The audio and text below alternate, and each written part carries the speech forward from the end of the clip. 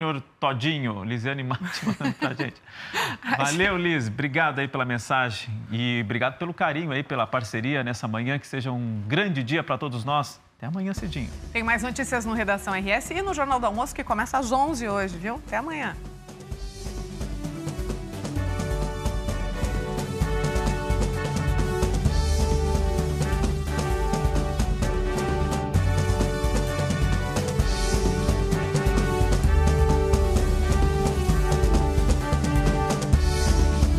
Bom dia, Rio Grande. Oferecimento Sicredi. Aqui o dinheiro rende um mundo melhor. E TW Transportes, expandindo para São Paulo, com linhas 24 horas.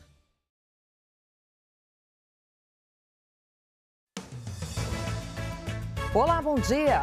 A Comissão de Constituição e Justiça do Senado vota hoje a proposta que tira o Bolsa Família do teto de gastos. O texto pode sofrer alterações, principalmente no prazo.